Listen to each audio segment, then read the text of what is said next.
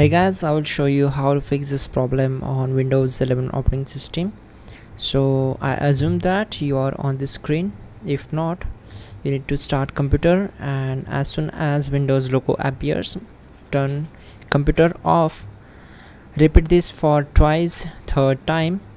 When you will start computer you will get into the automatic repair screen. After that we need to click on advanced options then click on troubleshoot select advanced options and then click on command prompt. Once you are here we need to type some commands. So type all these commands carefully and we need to execute all these commands. So type in chk dsk and hit enter. And once done type in sfc space slash scan now and hit enter. This process will take some time to complete so we need to wait for some time. This might be take 4 to 5 minutes or it can also take 20 to 30 minutes. So we need to wait for it.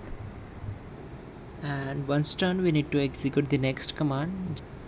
Then we need to type in boot rec space slash fix mbr and hit enter.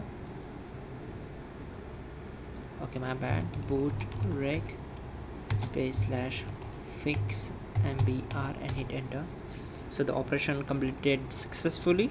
Then type in bootrec space slash fix boot once done type exit to close this window and simply click on continue.